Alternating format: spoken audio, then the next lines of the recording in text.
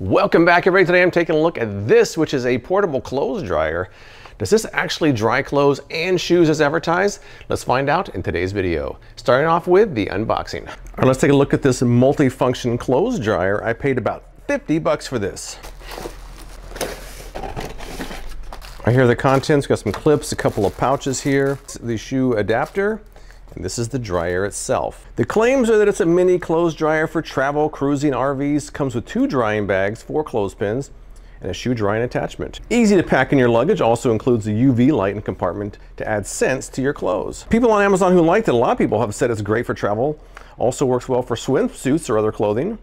The shoe drying feature also seems to be pretty popular. Some people online who didn't like it complained that the Amazon photos didn't show the power cord, which they say is not very long. Well, I don't even see the power cord yet, so I gotta figure out where that's at. When we do that, we'll get started.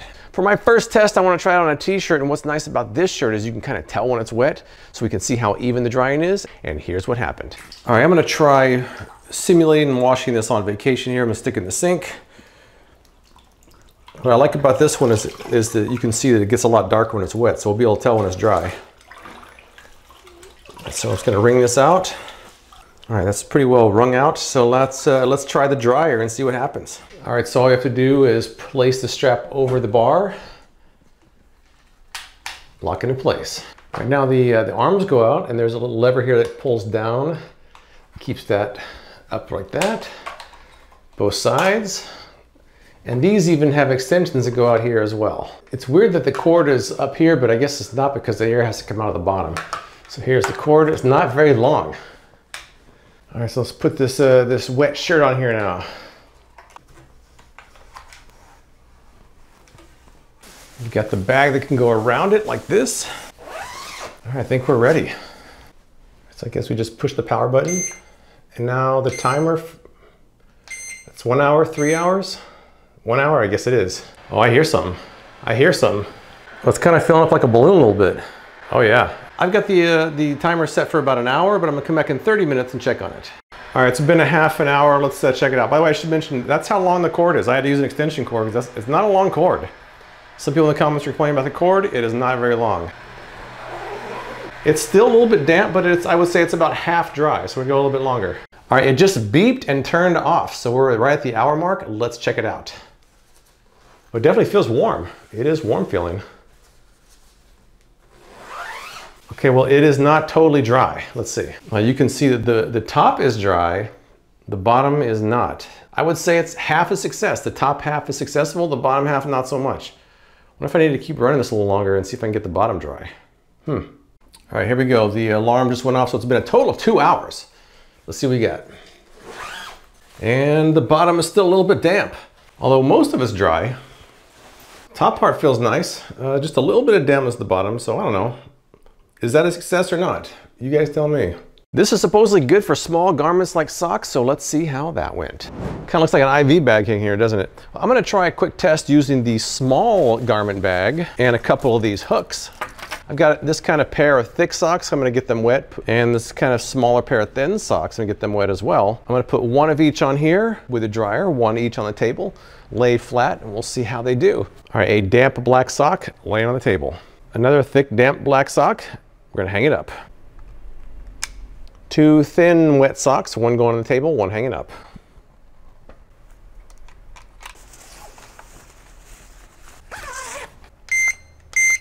All right, I've got the one hour cycle on, but I'll check these both in about 30 minutes and see how they do. Look at the thermal imager, you can definitely see the heat.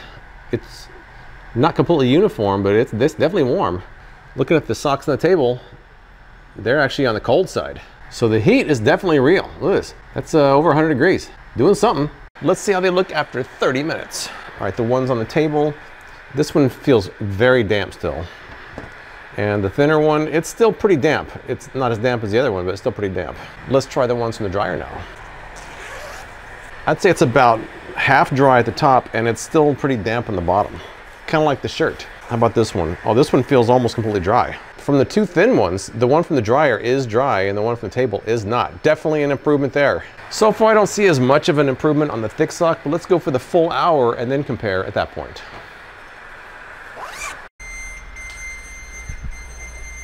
All right, the alarm just went off. Let's check it out.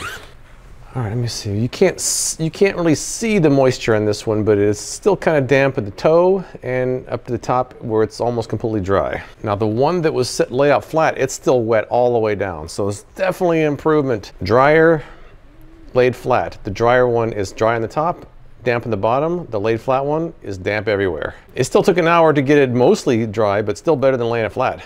The one function I really wanted to find out how it worked was for shoes. I tried a couple different shoes I bought from Temu, and here's what happened. All right, let's try out the shoe drying feature now. That's what we got right here. I got a couple pairs of shoes from Temu. I'm gonna have one of each type with a dryer and one of each type just uh, out in the air open. Compare and see what happens. Now the attachment here, I just kind of stuck on there. That's all you have to do, and these pull out.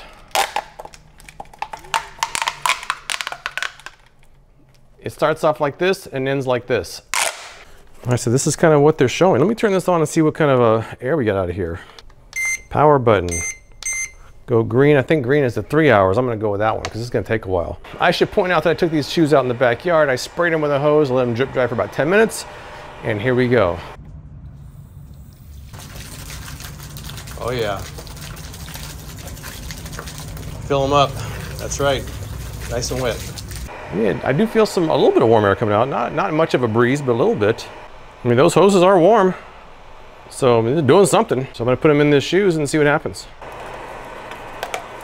Now these hoses aren't very long. You don't have a lot of a lot of room, so you're gonna have to have this unit right on top of your shoes almost. All right, so I don't know how long this is gonna take. I'm just gonna let it go until until they feel kind of dry, and then we'll see how the control shoes feel in comparison. So I'll come back when something changes and let you know what happened. All right, at the two hour and 50 minute mark, the three hour timer went off, so not exactly three hours. But let's see what we got here. Just feeling them with my hands, uh, these feel pretty dry. I would, up here, definitely very dry. There's a tiny bit of moisture in the toes, but overall I'd say it's pretty dry. Now these, they feel pretty damp. They still feel quite damp. Let me try paper, the paper towel technique, see what we got here. That is a damp paper towel on one of the shoes that I was using for control. I'll try this one here.